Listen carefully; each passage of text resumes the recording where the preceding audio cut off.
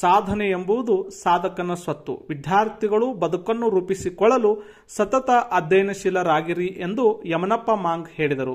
ಅವರು ಸಿಎಲ್ಇ ಸಂಸ್ಥೆಯಲ್ಲಿ ಆಯೋಜಿಸಲಾಗಿದ್ದ ಚುಕ್ಕೋಡಿಯ ವಿವೇಕಾನಂದ ಅಕಾಡೆಮಿ ಸ್ಪರ್ಧಾತ್ಮಕ ಕೇಂದ್ರದ ವತಿಯಿಂದ ಒಂದು ದಿನದ ತರಬೇತಿ ಕಾರ್ಯಾಗಾರದಲ್ಲಿ ಪಾಲ್ಗೊಂಡು ಮಾತನಾಡಿದರು. ಪದವಿ ಓದುವ ಪ್ರತಿಯೊಬ್ಬ ವಿದ್ಯಾರ್ಥಿ ಪದವಿ ಜೊತೆಗೆ ಸ್ಪರ್ಧಾತ್ಮಕ ಪರೀಕ್ಷೆಗಳ ಕಡೆಗೆ ಗಮನ ನೀಡಿ ಸರ್ಕಾರಿ ನೌಕರಿ ಗಿಟ್ಟಿಸಲು ಪ್ರಯತ್ನಿಸಬೇಕೆಂದು ತಿಳಿ ಹೇಳಿದರು.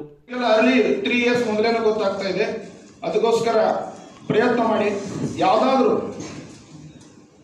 ಪ್ರಯತ್ನಕ್ಕೆ ಪ್ರತಿಫಲ ಇದ್ದೇ ಇರುತ್ತೆ.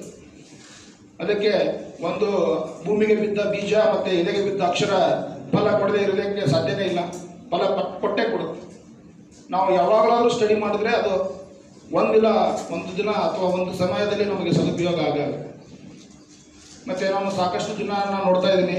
ಕಾಲೇಜ್ ಹಂತಗಳಲ್ಲಿನೇ ದುಶ್ಚಟಗಳಿಗೆ ಬಲಿ ಆಗ್ತಾ ಇರ್ತಾರೆ. ದುಶ್ಚಟ ಅಂದ್ರೆ ಈ ಬೆಂಗಳೂರು ಕಡೆಗೆ ಸಾಕಷ್ಟು ನೋಡಿದೀವಿ. ಕಾಲೇಜ್ ಹಂತದಲ್ಲಿನೇ ಡ್ರಗ್ಸ್ ಅನ್ನ ತೆಗೆದುಕೊಳ್ಳುವಂಥದ್ದು. ಡ್ರಗ್ಸ್ ಅನ್ನ ತೆಗೆದುಕೊಳ್ಳುವುದು ಮತ್ತೆ ಅದಕ್ಕೆ ಅಡಿಕ್ಟ್ ಆಗೋದು. ಉಪನ್ಯಾಸಕರಾದ ಮಾರುತಿ ಕಾಂಡೇಕರ್ ಮಾತನಾಡಿ, ಗ್ರಾಮೀಣ ಭಾಗದ ವಿದ್ಯಾರ್ಥಿಗಳು ಸ್ಪರ್ಧಾತ್ಮಕ ಪರೀಕ್ಷೆ ಎದುರಿಸಲು ದೂರದ ನಗರದ ಪ್ರದೇಶಗಳಿಗೆ ಹೋಗಲು ಸಾಧ್ಯವಾಗುವುದಿಲ್ಲ.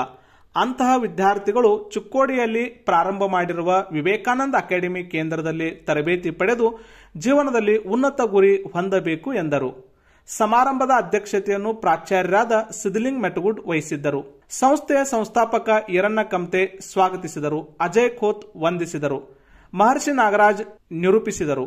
ಜಗದೀಶ್ ಖರೋಶಿ ವೀರಭದ್ರ ಪಾಟೀಲ್, ಮಹಾಂತೇಶ್ ಕಮತೆ ಬಸವರಾಜ್ ಸನ್ಕೊಪ್ಪಿ, ಸಂತೋಷ್ ಮೆಳವಂಕಿ, ಹನುಮಂತ ನಂದೆ, ಮಹಾಂತೇಶ್ ಖೋತ್ ಸೇರಿದಂತೆ ಮುಂತಾದವರು ಉಪಸ್ಥಿತರಿದ್ದರು.